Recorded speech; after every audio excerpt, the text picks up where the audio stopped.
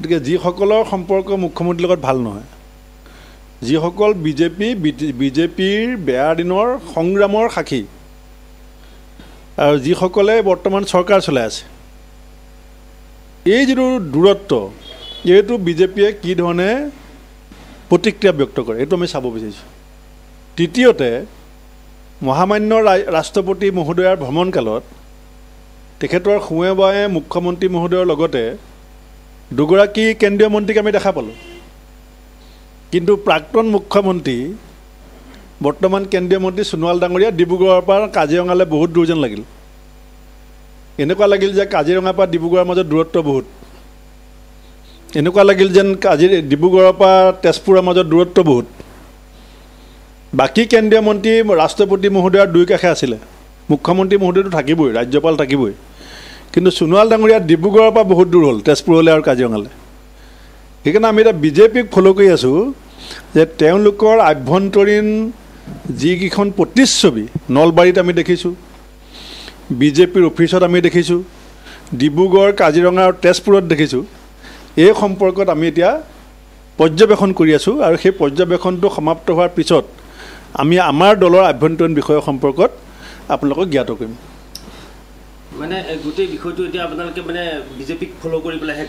নহয় আমি চাম কাৰণ আগতে আমাক বিজেপিয়ে পাঠদান দিয়ে যে ইনাৰ পাৰ্টিৰ ডিচিপ্লিনটো কংগ্ৰেছত নাই বুলি। এতিয়া আমি দেখিছোঁ নলবাৰী বিধায়কে কিমান তীক্ষ্ণ বাক্যৱান আজিলৈকে আমিয়ে মুখ্যমন্ত্ৰী এনেকুৱা শব্দ প্ৰয়োগ কৰা নাছিলোঁ। আমি মুখ্যমন্ত্ৰীক কেতিয়াও অপাত্ৰ বুলি কোৱা নাই। আমি তেওঁ বিভিন্ন ধৰণৰ আঁচনি ৰূপায়ণত ব্যৰ্থতাৰ কথা কৈছোঁ। লোন বেছিকৈ লোৱাৰ কাৰণে বেয়া পাইছোঁ বুলি কৈছোঁ। নিবনুৱা সমস্যা সমাধান নকৰাৰ কাৰণে বেয়া পাইছোঁ বুলি কৈছোঁ। কিন্তু আমি অপাত্ৰ বুলি মুখ্যমন্ত্ৰীক কেতিয়াও কোৱা নাছিলোঁ আৰু আমি ক'বলগীয়া পৰিস্থিতি আহিব বুলি ভবা নাছিলোঁ। আৰু এই চৈধ্য তাৰিখে প্ৰধানমন্ত্ৰী নৰেন্দ্ৰ মোদী ডাঙৰীয়া অসমলৈ আহিব এই বিহুক লৈ যিটো ৰেকৰ্ড কৰিব গৈ আছে গোটেই বিষয়টোক লৈ কংগ্ৰেছৰ স্থিতি কেনেকুৱা হ'ব? বিহু আমাৰ জাতীয় জীৱনৰ এক স্বকীয় বৈশিষ্ট্যৰ প্ৰতিফলন। বিহুক আমাৰ দেশৰ প্ৰধানমন্ত্ৰীগৰাকীয়ে বিহুৰ দিনাখন আহি আমাৰ জাতীয় জীৱনৰ এটা সাংস্কৃতিক কাৰ্যসূচীত ভাগ লোৱাটোত আমি বেয়া পাবলগীয়া বা আহিব নালাগে বুলি ক'বলগীয়া এনেকুৱা কোনো কথা নাই। কিন্তু আমি সমান্তৰালভাৱে আশা কৰিম যে যিসকলে যিসকল শিল্পীয়ে বিহু দলটোত যোগদান কৰিব সেইদিনাখনেই বিহু নৃত্যৰ মাজতে যাতে তেওঁলোকৰ সপোনটো ৰৈ নাযায়। নিশ্চিতভাৱে ঢোল বজাবলৈ অহা পেঁপা বজাবলৈ অহা নাচিবলৈ অহা যুৱক যুৱতীসকলৰ ভৱিষ্যতৰ আত্মনিৰ্ভৰশীল হ'ব পৰা। এই বিহুৰ ধাৰাবাহিকতাটো অবিকলভাৱে আগুৱাই নিব পৰাকৈ। তেওঁলোক স্বাৱলম্বী কৰাৰ যিটো প্ৰতিশ্ৰুতি দেশৰ প্ৰধানমন্ত্ৰী আৰু মুখ্যমন্ত্ৰীয়ে দিছিল সেই সম্পৰ্কটো অসমৰ যুৱ প্ৰজন্মক যোৱা চৈধ্য চনৰ পৰা দি থকা প্ৰতিশ্ৰুতি সম্পৰ্কত। এটা যিটো আপোনাৰ কি কি কৰিলে অসমৰ যুৱ প্ৰজন্মৰ কাৰণে? তেনেকুৱা এটা বাৰ্তা তেনেকুৱা এটা প্ৰত্যুত্তৰ আমি দি যাব বুলি আশা কৰিম।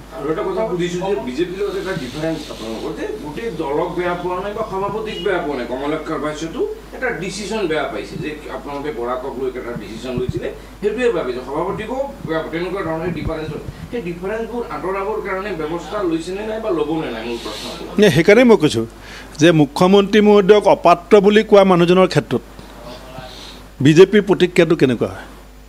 বিজেপিৰ প্ৰতিষ্ঠা দিৱসত চাৰিজন প্ৰাক্তন সভাপতি উপস্থিত থকা সভাখনত এজনো মন্ত্ৰী নথকাটো।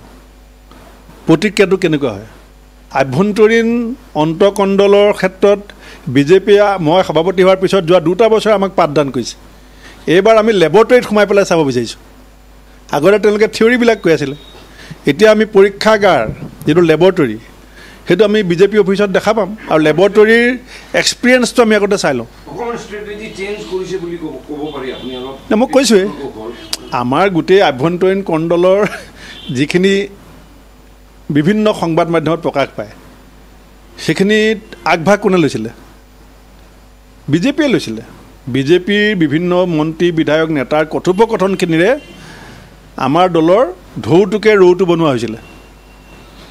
আমাৰ দলৰ এটা ঢৌটো ৰৌটো কৰা হয় এতিয়া আমি চাব বিচাৰিছোঁ যে তেওঁলোকৰ দলত এতিয়া ৰৌ মাছে জঁপিয়াইছে এতিয়া সেই ঢৌটো কেনেকৈ ৰাখে কাৰণ তেওঁলোকেহে পাঠদান কৰি আছিলে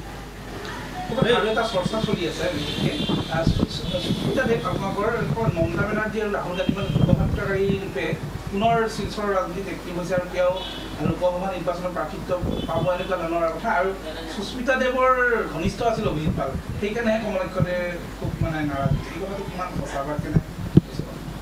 সেইটো মই আজিৰ তাৰিখত য়েছ বুলিও ক'ব নোৱাৰোঁ ন' বুলিও ক'ব নোৱাৰোঁ। মই য়েছো নকওঁ নও নকওঁ। এই ৰূপজ্যোতি কৰ্মীৰ মন্তব্যটোক লৈ কি ক'ব বিচাৰিব? তেওঁৰ বিৰুদ্ধে ইতিমধ্যে কেইবাটাও কেইবাখনো থানাত গোচৰ ৰুজু কৰা হৈছে। তেওঁ কৈছে যে তাজমহলটো ভাঙিব লাগে কুটুব মিনাৰটো ভাঙি পেলাব লাগে তাত ডাঙৰ ডাঙৰ মন্দিৰ বনাব লাগে। ইতিমধ্যে মই এই সম্পৰ্কত মোৰ প্ৰতিক্ৰিয়া দিছোঁ যে এতিয়া অসমত বিজেপি দলৰ একমাত্ৰ মাষ্টাৰ মাইণ্ড হৈছে অসমৰ মাননীয় মুখ্যমন্ত্ৰী হিমন্ত বিশ্ব শৰ্মা ডাঙৰীয়া। যিকোনো নেতা কৰ্মী যদি তেনেকুৱা সাম্প্ৰদায়িক বিভাজনৰ মন্তব্য কৰে তে আপুনি জানিব যে তেওঁৰ ক'বৰ কাৰণে উদগনি বা উচতনি অসমৰ মুখ্যমন্ত্ৰীয়ে দিছে। গতিকে মুখ্যমন্ত্ৰীৰ প্ৰতিক্ৰিয়াটো অসমৰ ৰাইজে আগতে জনা উচিত। যদি তেখেতে তেওঁলোকক উদগনি আৰু উচতনি দিয়া নাই। কিন্তু মোৰ বিশ্বাস যে সাম্প্ৰদায়িক বিভাজনৰ ৰাজনীতি এতিয়া মুখ্যমন্ত্ৰী ডাঙৰীয়াৰ একমাত্ৰ অস্ত্ৰ জীয়াই থকাৰ ৰাজনৈতিকভাৱে। আৰু সেইকাৰণে তেওঁ উদগনি আৰু উচতনি দিয়ে কথাবিলাক হৈ থাকিব।